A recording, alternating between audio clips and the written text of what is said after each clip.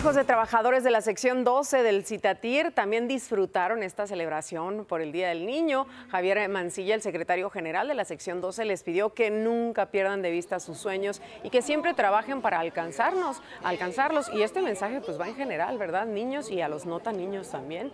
Estaría bueno que no perdamos este, este sentido. Y bueno, les reitero que pueden estar orgullosos y seguros de que tienen a los mejores papás.